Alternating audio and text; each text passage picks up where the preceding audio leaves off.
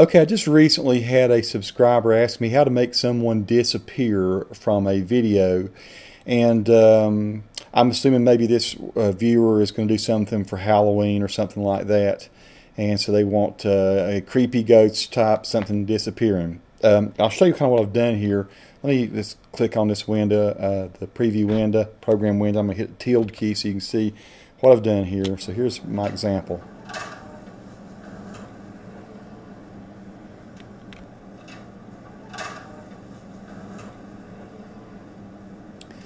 So we've seen this kind of thing done in the movies a lot. Uh, one of the more, I guess, common things that you'd see is, is here the person appears and the person disappears. And what really kind of helps sell a shot like this is the fact that the door is moving. Uh, you know, it's hard, it's it, it, looks more real that the door is continues its swing as the person disappears, right? And uh, so, how did I pull this off? Well, that's super simple. And uh, I'll just go ahead and just tilt, tilt back out of this. And I'll show you, like here is of course the real piece of video that I shot. And it shows me, uh, first of all, walking through the door and then walking past the camera. And then of course I go back over here and uh, over here's where I did the right. I did it a couple times, make sure I did it right.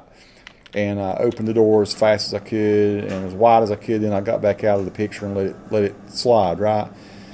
So what I did, I did a cut uh, right along in there where I knew that the door would pretty closely match the, uh, the, the other angle where I went through, right? So I, I tried to catch it so that the door matches with the other one. So I'm going to delete this all here. I'll hit a V to get back out of that so I don't have the cut tool anymore. So what I did was was if I if I turn if I were to pull this back out, uh, what I did I, I found the exact point where those two doors would match in the video, right? I'm going to turn this cross dissolve off that I've put here for a second, get rid of it. So you can see what does happen is it is a it is like one of those blink type things and it's gone. There's a little bit difference in the tone on the wall and all there, but the the the uh, the shadow and everything. And I could go in I could color grade that and make it even a little bit more believable. But the cross dissolve almost makes it where it's not noticeable. So what did I do whenever here to the effects? I made sure that the door at this point right here was in the exact same place. And so what I did, I just I, I, just made the cut and I drug it back and forth and experimented until I got this. You know, I could I could have took it this far, it would have been too far. It turned out it was totally believable there at that point. And then I got I went over here to the effects uh, selector or effects presets place. I typed in CROSS for cross dissolve, and I brought that on top of this. Now I don't want this cross dissolve to go beyond the bounds of that, right? I'd rather just go, I'm going to go ahead and pull this back in. I want the cross dissolve to be resolved uh, before we get to the end of this clip that's underneath it. So it's actually the same clip. And I start to go away there, and it does sort of sell the picture. It looks like a like I've been a ghost that has disappeared. Now I could also consequently go in there if I wanted to and make myself appear. Uh, I could have I could have the door open I could reverse that. Now that would be kind of a wild thing to do. Maybe I'll do a tutorial on that as well. But for just for a very quick little show you how to disappear, that's how I would pull it off.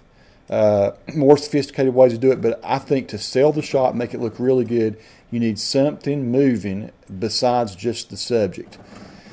And then, of course, you know, you, are gonna. I, I had brought up some Lumetri looks here a while ago. What I could do, I could render this out I could apply a creepy looking Lumetri look to it. I could put some scary music or something under it. I could be a whole lot scarier looking. I could look more like a ghost instead of just a big doof. And then it would actually really look kind of scary and frightening. And of course, I could be in somewhere besides a silly office with scales on top of a of a uh, filing cabinet. But so there you go, folks. That's how I would pull it off. Uh, again, if I tilt into it, that's kind of what you're going to look like.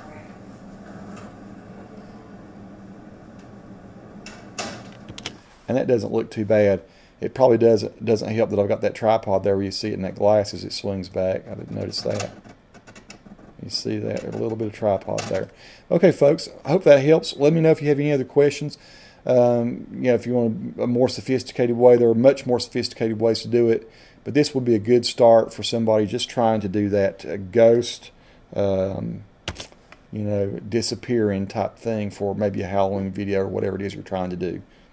Uh, subscribe. If you have any uh, questions, just give me a, an email or message, and I'll try to explain if I've done something here that's unclear. Thanks. Bye bye.